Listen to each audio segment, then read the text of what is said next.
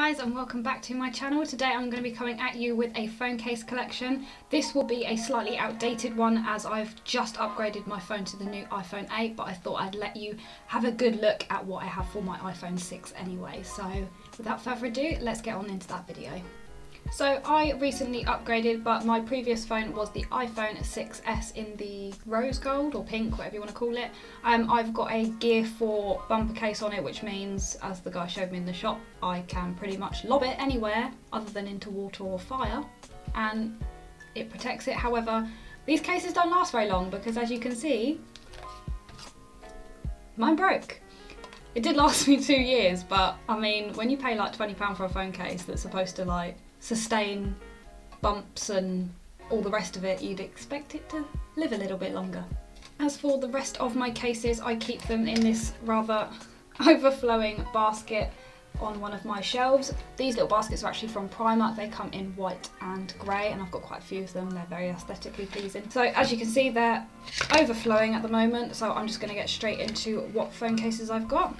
The next one is another sort of bumper case for my iPhone 6. I got this from Poundland, so it's probably not as durable as the one I had, but this was basically an emergency buy when that one died. It's purple, it's supposed to be like that bendy silicone, but because of the sides being made out of plastic, it doesn't really bend or mould into the phone very well, so what can you expect from Poundland, but it did the job when I needed it. The next one is one that I don't use very often anymore because it's a little bit cringy. It is this acrylic phone case, obviously and it says on fleek on the front of it. Um, not really a phrase I've ever used.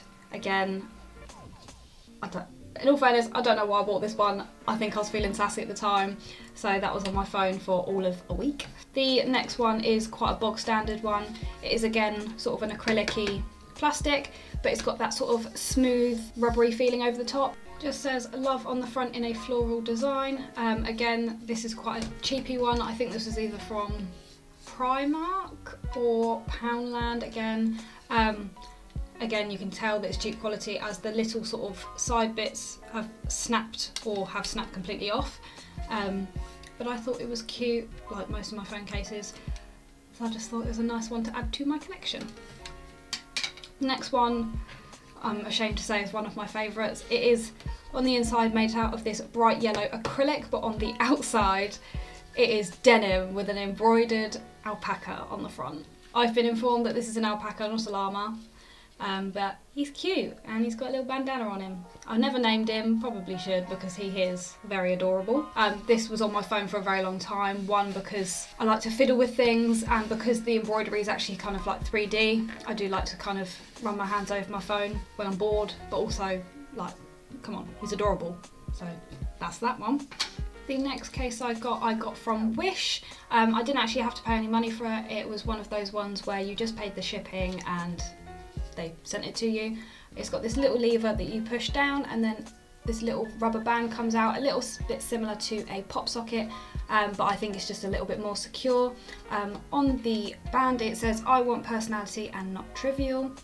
I really like the design. It is an, made of acrylic material, but then on the inside it's made out of more of a silicone material, so it's not gonna be too difficult to get off your phone. Um, I did use this quite a lot, however, again, probably should learn my lesson. Buying cheap phone cases has its downsides because I realise that happens, where the acrylic outside does come away from the silicone inside, which is a little bit of a bummer, but as long as I'm not lobbing my phone around anywhere, it stays on. It's just when I decide to drop it. The next one is one of my most gaudy phone cases ever. It is made out of silicone and it is this chocolate bar phone case. Um, it's got one, two, three, four little faces, some of them with googly eyes and some of them are just drawn on. They are 3D squares of chocolate, um, very stretchy, fits my phone perfectly. It is probably one of the most bulkiest phone cases I've got, but as I am a major chocolate addict, when I saw this, I couldn't pass it up. I think I got this one around the same time as I got the Llama one, which was when I think Claire's was having their annual sale or something. Um, so I think it was only about three or four pounds, same with the Llama one. But yeah, you can't really say a lot about it apart from it's chocolate and it's the best. The next one I got from my local shop called Neon Sheep. Um, it's just this sort of soft acrylic black phone case with a little hole in the middle to show off the Apple logo and of course the camera and then it's got again a little lever that can come up and you can twist it to suit your fingers perfectly so you don't drop your phone or lose it anywhere. There was once a point that it got stuck to my keys and I had my keys attached to my phone for almost a week but other than that it's obviously quite a useful gadget on your phone. I haven't used this one a lot. Um, I kind of bought it spare of the moment when I forgot my phone case um, I think it was when I went to London actually. But since then I haven't really used it and then I got my upgrade so most of these phone cases I probably will be putting on Depop or something similar just so someone can get some uses out of these cute phone cases. We're now coming to near the end of my iPhone 6 case collection. So my next one is again a very big case and it is this one. Um, I have actually got a pop socket on there from Skinny Dip London. I'm going to try and peel it off and put it on my new phone because I'm not paying £15 for a pop socket again. But this is actually the Primark version of the LuMee case I think it's called where it has this little button on the back and then when you press it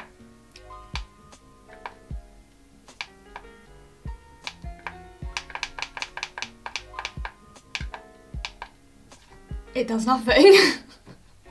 well, I'm going to take it the batteries have run out or I've dropped it too many times for it to work anymore, but it is supposed to light up and it takes really good selfies. Um, I probably will repurchase this again for my iPhone 8, um, but yeah, that, that is supposed to light up.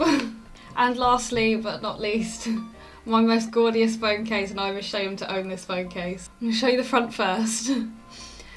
it looks like this from the front. It's got little white lace that cups around the outside of my phone and then the back of it is a bunny. I again got this off of Wish, I think it only cost me about two or three pounds but it has little fluffy bunny ears and then of course it has the little cotton tail which can also be used as sort of like a pop socket kind of thing. I've never dropped my phone when I've had this case but then again when you basically have a bunny in your hand why would you want to drop it? Um, it has actually got diamante around the camera space with a little bow. However, the fur kind of hides that, which I don't mind because I think that makes it look even more cheap than it already does.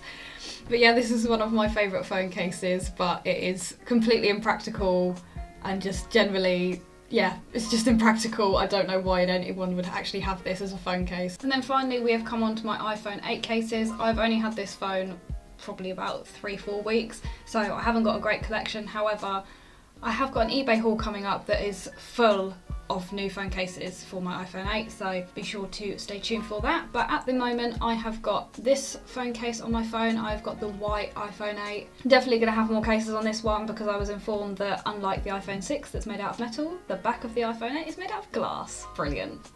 Best design so again, I've got a Gear 4 case, but I have actually gone and bought another pop socket, not that I need any more, in this marble print. Um, I apologise because I don't actually think this is a branded pop socket. I think I got a knockoff, my bad. But I think it was a pound. I will probably transfer my Skinny Dip London one onto this case or the next case that I'm going to show you, which is the only case I've actually recently bought for my iPhone 8.